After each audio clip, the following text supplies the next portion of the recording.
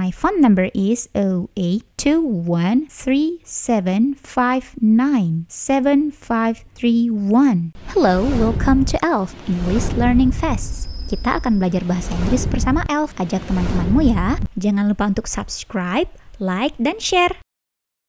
Oke, okay, kali ini kita masuk ke lesson 24, pembelajaran ke-24.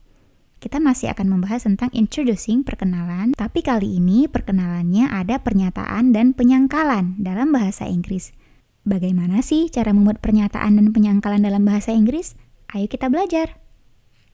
Oke, okay, pertanyaan pertama yang biasa diajukan adalah Are you Tony? Atau Are you Tony? Apakah kamu Tony? Jawabannya jika iya atau pernyataan iya, Yes, I am. Yes, I am. Iya, benar. Oke, okay. kemudian jika tidak, No, I am not Tony, but I am Richard. No, I'm not Tony, but I'm Richard. Saya bukan Tony, tapi saya Richard. Oke, okay, kemudian pertanyaan kedua. Is your name Andi? Apakah namamu Andi? Apakah namamu Andi? Yes, my name is Andi. Iya, nama saya Andi. Sebaliknya jika tidak, No, I'm not.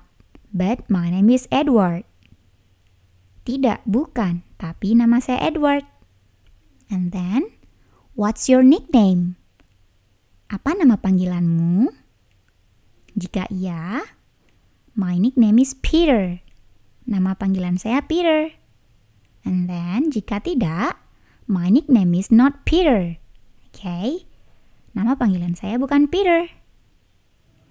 And then, is your nickname Peter? Apakah nama panggilanmu Peter? Oke. Okay? Ini bisa kita ajukan saat kita bertemu dengan seseorang dan kita ragu-ragu. Apa nama panggilannya? Oke, okay, bisa kita gunakan pertanyaan ini ya. Is your nickname Peter? Apakah nama panggilanmu Peter? Oke, okay, jika iya, yes, My nickname is Peter. Iya, nama panggilan saya Peter. Jika tidak, no, it's not. My nickname is not Peter, but my nickname is Andy, misalnya. Apa artinya? Ya, tidak, bukan. Nama panggilan saya bukan Peter, tapi nama panggilan saya Andy. Paham ya cara membuat penyangkalannya? And then, how old are you? Berapa umurmu? How old are you? Atau How old are you? Berapa umurmu? I'm 23 years old. I'm 23 years old. I'm 23 years old. Umur saya 23 tahun. And then, are you 30 years old? Okay. Kita bertemu dengan seseorang yang kira-kira sudah tua, kita mau memastikan umurnya. Okay. Atau kita seorang perawat, kita ingin bertanya berapa sih umur bapak ini atau umur ibu ini? Oke, okay, untuk memastikannya dengan cara sopan adalah Are you 30 years old? Apakah umurmu 30 tahun? Are you 30 years old? Apakah umurmu 30 tahun? Jika iya, yes, I am 30 years old. Iya, umur saya 30 tahun. Tetapi jika tidak, No, I'm not 30 years old, but I am 23 years old. Tidak, umur saya bukan 30 tahun, tapi umur saya 23 tahun. Oke, okay, begitu ya cara menyangkalnya. And then, what's your job? Atau what is your job? Apa pekerjaanmu? I'm a teacher.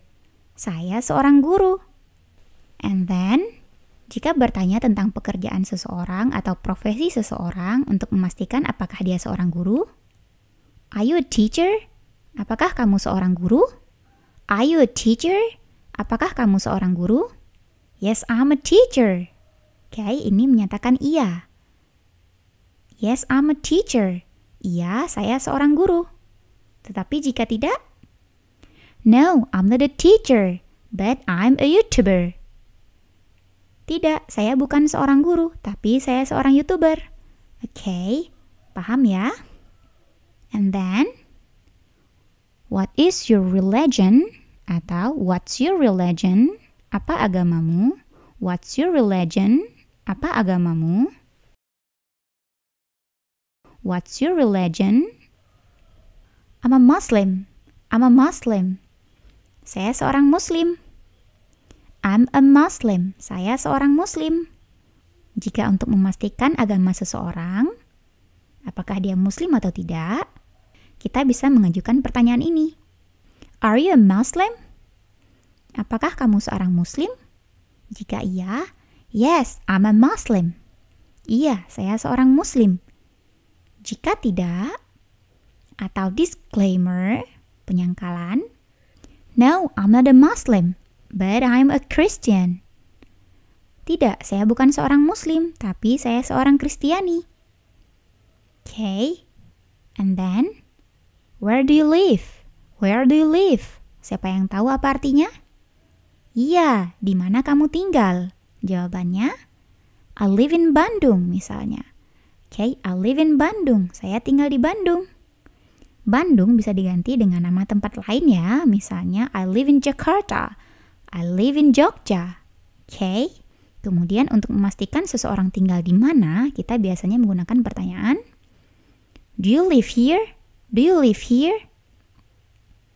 Apa kamu tinggal di sini atau apakah kamu tinggal di sini?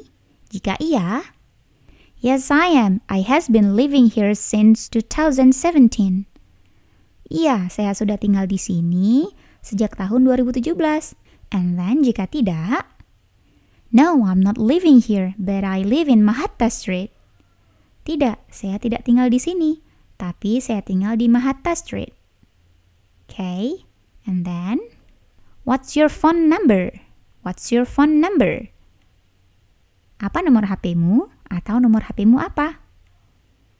My phone number is 082137597531.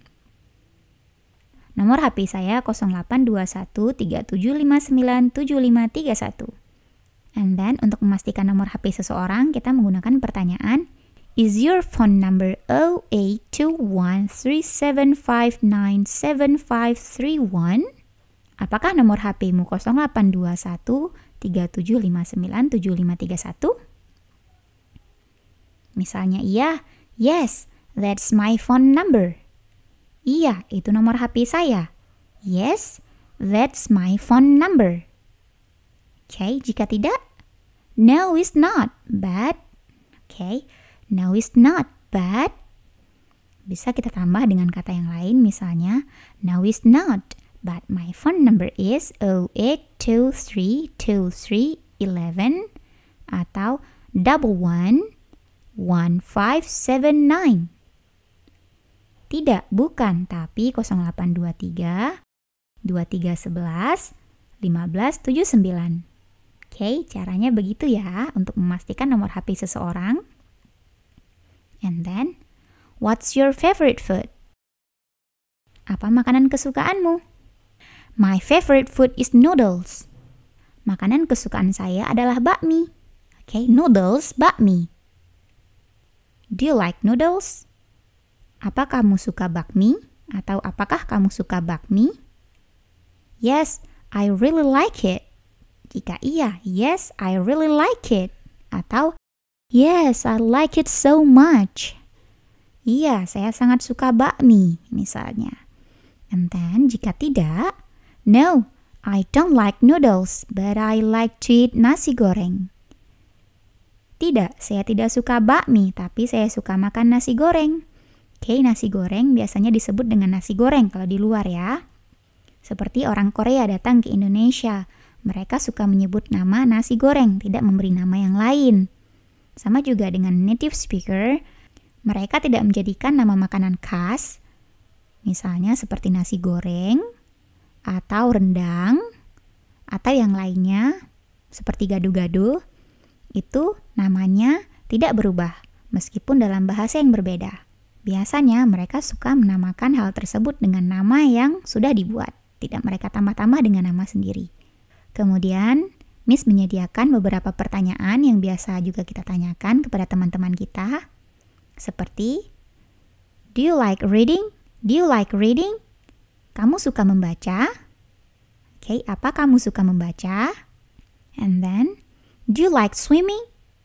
Apakah kamu suka berenang atau kamu suka berenang? Do you like swimming? And then, do you like this song? Do you like this song? Kamu suka lagu ini? Oke, okay. do you like this song? Kamu suka lagu ini? Ini untuk memastikan sesuatu. Dia suka nggak lagu ini? And then, do you like the color? Do you like the color? Kamu suka warnanya? Misalnya kita lagi ngecat dinding, kemudian teman kita lewat, kita tanya, Do you like the color? Kamu suka warnanya? Oke. Okay. Atau kita beli baju, beli sepatu ya, kita mau bertanya kepada kawan kita. Do you like the color? Kamu suka warnanya nggak? Nah, gitu ya. Kemudian, Do you like cats? Do you like cats? Kamu suka kucing? Kamu suka kucing? Oke. Okay. Apakah kamu suka kucing? Mungkin di rumah kita ada kucing, kemudian kucingnya datang, kemudian kita bertanya kepada teman kita. Do you like cats? Kamu suka kucing? Oke, okay, misalnya dia suka. Yes, I like cats. I love cats because of that beautiful pets. Iya, saya sangat suka kucing. Karena kucing adalah hewan peliharaan yang cantik.